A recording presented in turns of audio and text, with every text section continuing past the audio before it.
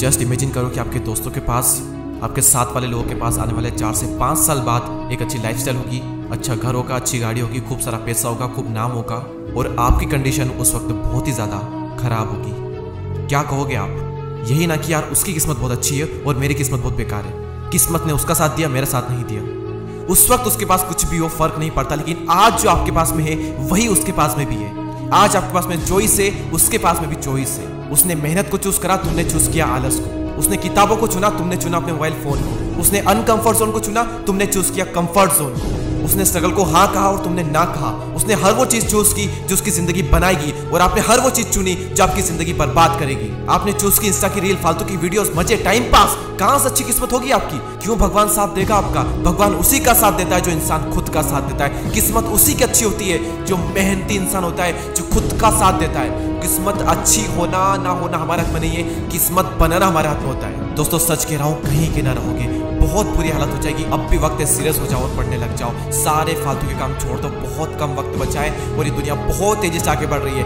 और अगर इस तेज़ी से बढ़ती हुई दुनिया में आप इसे फालतू काम करोगे ना, कहीं के ना बहुत बुरी हालत हो जाएगी। कई सारे लोग मुझे से मिलते हैं जो कि कहीं के ना रहे, बर्बाद हो गए, ना पढ़ाई की, ना कुछ और दूसरा काम किया।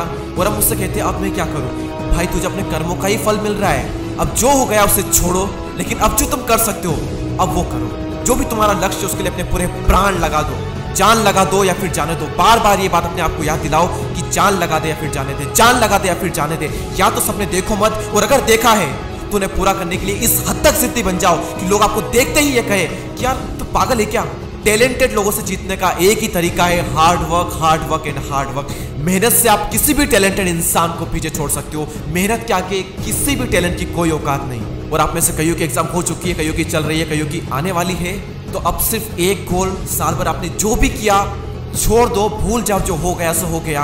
अब मुझे पढ़ना है पढ़ना है पढ़ना है पढ़ना है। और ऐसा पढ़ेंगे कि फोर्ड करके रख देंगे। जितना भी टाइम बचा है ना, इसमें भी आप बहुत अच्छा परफॉर्म कर सकते हो। अगर आप इस वक्त, इस वीडियो को देखने के बाद अगर सीरियस हो जाओ तो। सबसे पहले आप अपने फ़ोन को एक ड्रॉर में लॉक करके रख दो। देखिए मोबाइल से अच्छा टूल इस दुनिया में कुछ नहीं है। लेकिन इससे बुरा टूल भी इस पूरी दुनिया में कुछ नहीं है। अगर इसका गलत तरीके से यूज़ किया तो।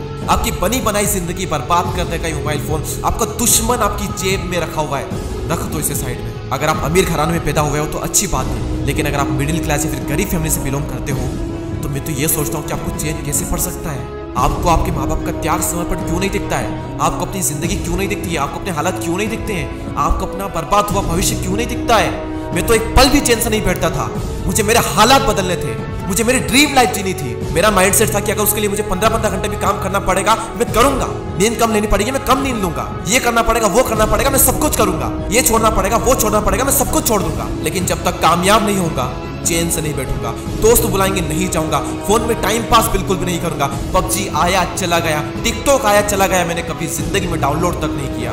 मेरे फ़ोन में सिर्फ़ वो चीज़ें थी जो मुझे मेरे गोल तक ले जाएँगे। डिलीट एवरीथिंग वो चाहे फ़ोन हो या फिर रियल लाइफ हो, हर उस चीज़ को डिलीट कर दो जो तुम्हें रोक रही है या फिर बर्बादी की ओर ले जा रही है। और हर उस चीज़ को इंस्टॉल कर लो, वो चाहे फ़ोन हो या फिर रियल लाइफ हो, जो तुम्हें कामयाबी की ओर ले जाएगी। अगर आपको किसी को छोड़ना पड़ रहा है तो छोड़ दो, क्योंकि उसे छोड़ने से तुम्हें वो हासिल होगा जो कि उससे बहुत बड़ा होगा और तुम्हारी ज़िंदगी बनेगी या बिगड़ेगी, किसी को कोई फ़र्क नहीं पड़ेगा। बर्बाद हुए तो लोग हंसेंगे और अगर तुम कामयाब हुए तो लोग तुमसे चलेंगे छोड़ दो उनको जो आपका टाइम बर्बाद कर रहे हैं। टाइम देना बंद कर दो उनको। कहो, काम है बेसी हूँ। अगली बार आपको वो बुलाना ही बंद कर देंगे। इस वीडियो को देखने के बाद अगर आप जोश आया हो, थोड़ी भी अंदर से आग लगी हो, कुछ करने की, पढ़ने की तो अभी के अभी इस वीडियो को बंद करके दो घंटे पढ़ो, एक ब्रेक लो और फिर से पढ़ने बैठ जाओ। मैंने कहा ना, अभी भी वक्त है। अगर आप अभी भी सीरियस हुए तो आप वो कर सकते हो जो पूरे साल पढ़ने वाले नहीं कर पाए। अब तक लोगों का वक्त आया था, तुम्हारा दौर आएगा। और उस दौर को लाने के लिए, अगर तुम तैयार हो अपने पूरे प्राण लगाने के लिए तो कमेंट सेक्शन में यस ज़रूर लिखना। और ऐसे ही और पावरफुल वीडियोस के लिए हमारे चैनल को सब्सक्राइब करके बेल आइकन को प्रेस करें। मैं आपसे मिलूँगा अगले वीडियो में तब तक के लिए जय हिंद, जय भारत।